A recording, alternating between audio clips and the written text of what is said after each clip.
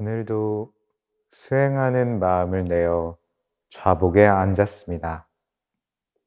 훌륭하다, 훌륭하다 칭찬하고 이처럼 마음을 내어 수행하는 도반들을 생각하며 기뻐하는 마음을 보냅니다.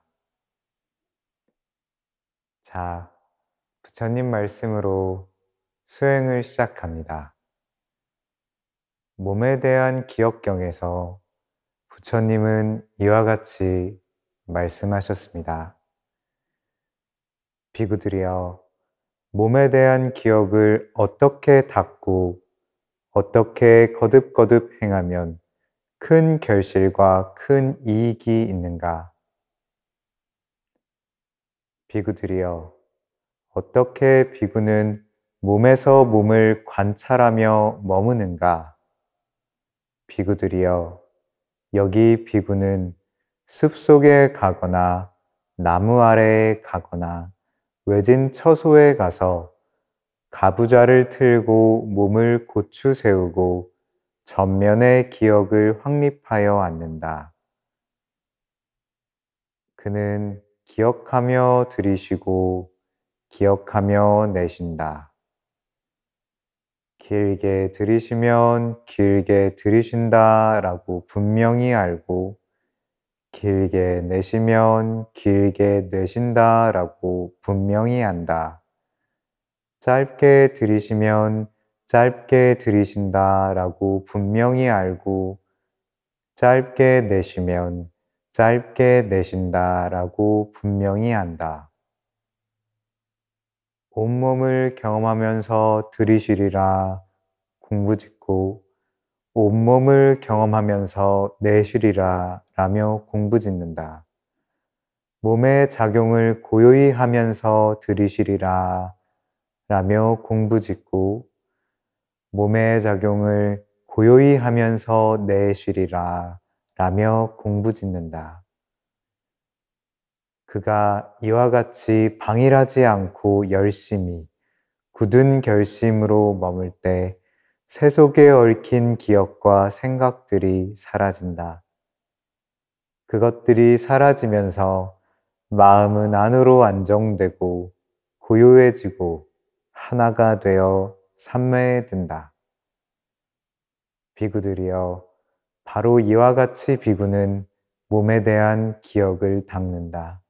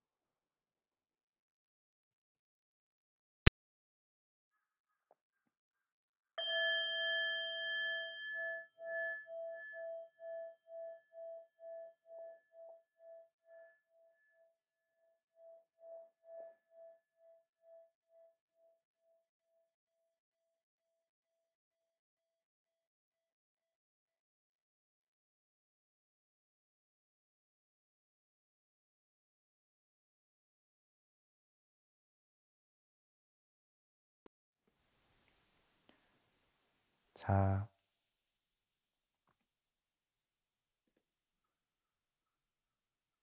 수행을 하는 동안 불필요하고 쓸데없는 일들에 대한 기억을 잊고 호흡에 잘 머물렀습니까? 또는 마음을 뺏기는 일들이 있었습니까?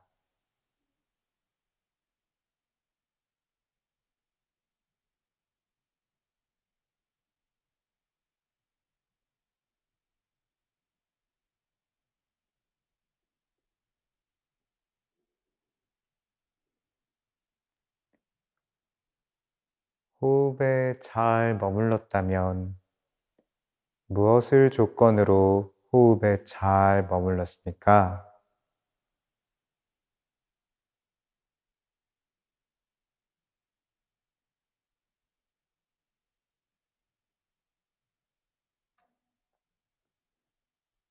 정진하려는 노력 또는 잘하려는 기대를 내려놓았다거나.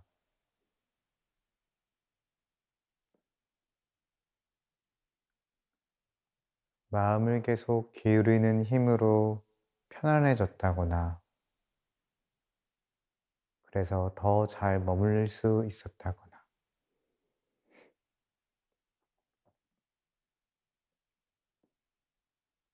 또는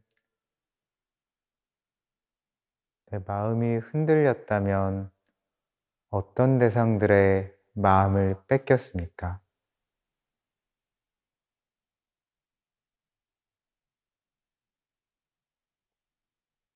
해야 할 일 생각 또는 가족이나 친구 같은 사람 생각,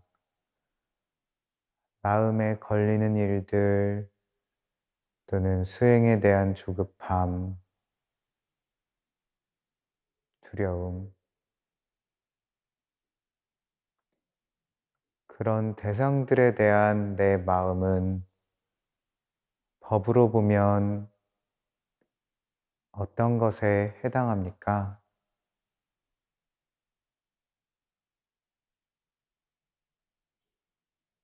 욕망, 성냄, 후회, 의심, 나태, 들뜸,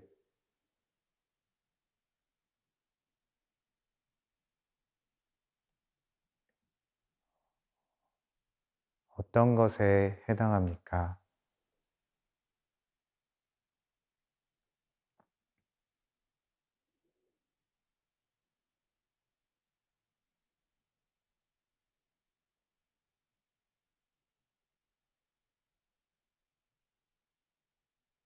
그 대상들로부터 마음을 돌렸다면,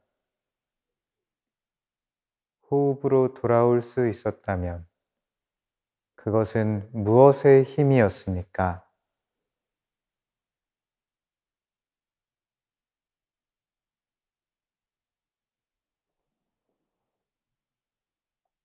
여태껏 해왔던 노력의 힘, 부처님 말씀대로 해보자는 믿음의 힘, 또는 수행 중에 길러진 고요하고 깨끗해진 마음의 힘, 번뇌를 번뇌로 선한 법을 선한 법으로 바로 알아채는 힘, 무엇이 버려야 할 법이고 어떻게 버리는지를 아는 지혜의 힘,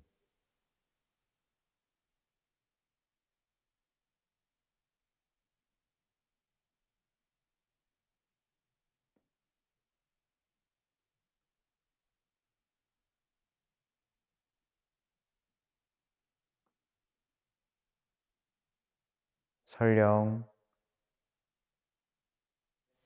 이번에 번뇌를 바로 버리지 못하고 대상에 끄달렸더라도 어떤 힘을 통하여 다음번에는 그 대상을 버릴 수 있겠습니까?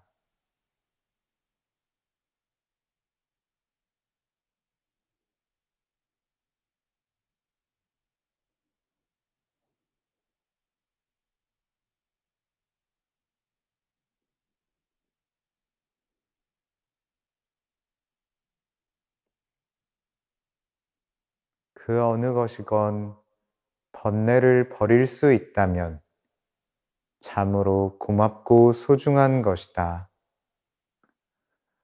부처님께서 가르치신 이 법들을 잘 간직하고 개발해 나가리라 마음먹으며 수행을 마칩니다.